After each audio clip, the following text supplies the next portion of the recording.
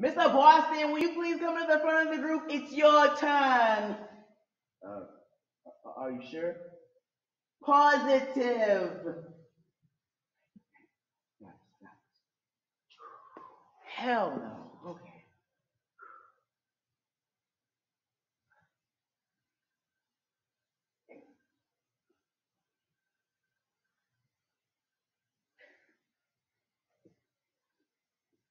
The first time that I ever heard the word gay, mm, that I ever heard the word gay, cancer, I'd always assumed that being gay was a little bit like having cancer because only people in sad movies had it. And just like the people in sad movies, I mean, it's, it's never going to happen to you. To you, it's only ever going to be a phase, verb, to introduce in gradual stages. Pride Month is a time of celebration where men can get together to celebrate love, liberty, and the occasional Beyonce.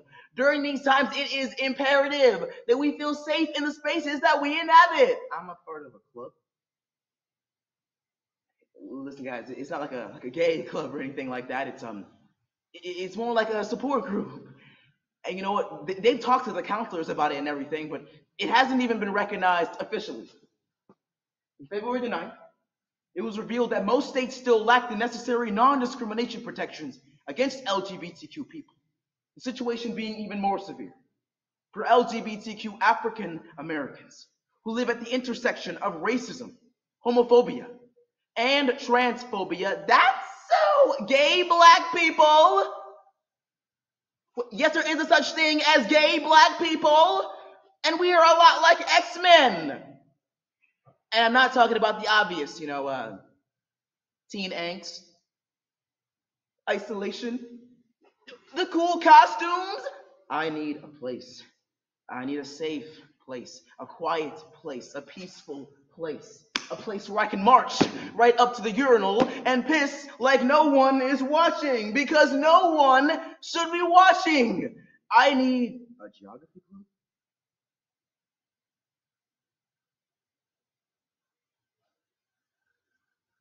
You guys mean to tell me that this this place is meant to be some sort of secret support group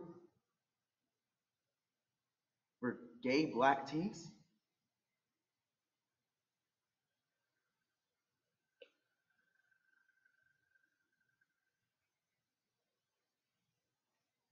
According to a study conducted by the Williams Institute at UCLA Law, it was revealed that in the black community, 43% of teens who came out to their parents were forced to leave because of rejection of their gender identity or sexual orientation.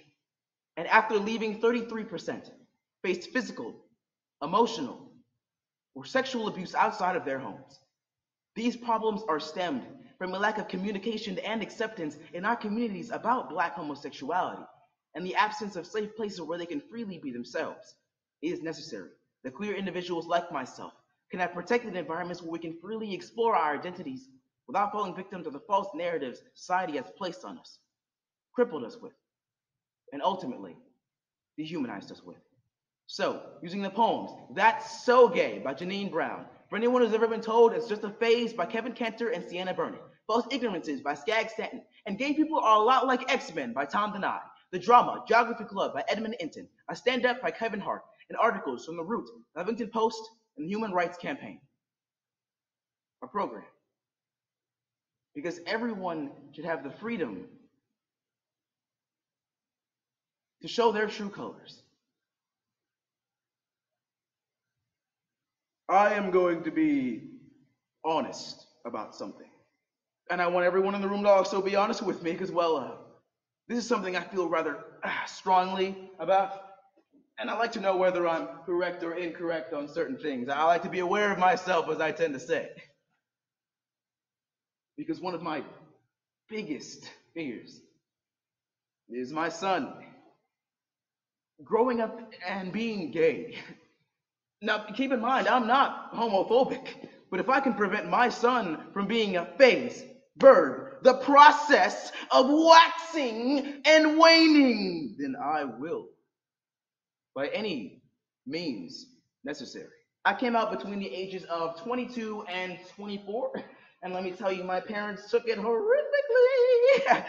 I mean, they pretended like they were okay with it at the time, but by the way that they treated me, it showed otherwise. I mean, for the first time in my life, I felt uncomfortable in the home that I lived in since I was two years old. Power number one invisibility. Okay, so I'm not using it right now, but trust me, even I can fade away. I use it to avoid the bros, as well as the no homo sapiens who somehow find their way into gay clubs, gay bars, and anywhere else you wouldn't want your day ruined. This power is also extra important to avoid becoming someone's black gay best friend. Because yes, we too get tired of picking out endless handbags and saying things like OMG. That's so gay. It's the color on your cheeks that you can't erase when you're caught staring at the school case or the poster. And you swear to yourself that the red on that rainbow is nothing compared to the one on your cheeks. You see, most of my classmates graduated from childish banter to hateful slurs, while the rest of us graduated from a cold closet into a freezing world. In a perfect world. Words like dyke, faggot, lesbo, and queer wouldn't even exist. In a perfect world, the shield of ignorance would be seen right through, and we'd all be seen as people. Now, I hate to be the one to inform you of this, but we don't live in a perfect world. Power number two the black sexual appetite. What the hell? less like a power this one, but it's the one that everyone fears no matter where you go. I've been asked no less than six times if I am attracted to my own reflection. I mean, damn, wouldn't you be? Hey, bro, don't say that. That's gay. So if I can prevent my son, I mean, my son, from being labeled as one of those faggots wherever he goes, then I will, by any means necessary. If you think that my love is wrong, then you have no idea what love is. You can't shove love into a box or push it in a closet because love is the push and the pull of yin and yang. It is two rivers flowing side by side in perfect harmony, and it is so much more than just a phase, verb, to remove in gradual stages. I have a dad who is pressuring me to go to Yale and live the same life that he did, and that includes that includes having a wife he said that if you choose to be gay, then you are no longer part of this family. You want to live that lifestyle? Then you can do it somewhere else. That's so a geography club?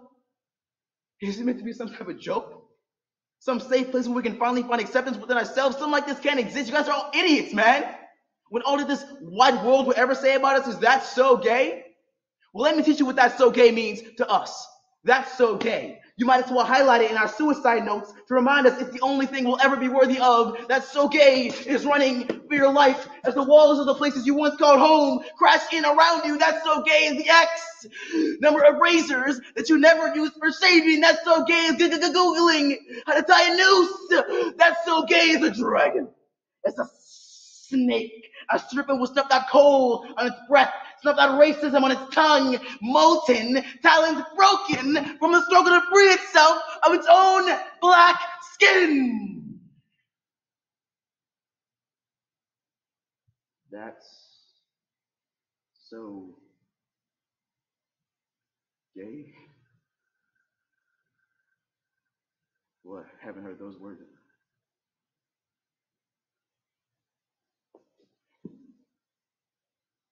as a black man, owning up to my sexuality came with a price tag, one that I'll be wearing for the rest of my life.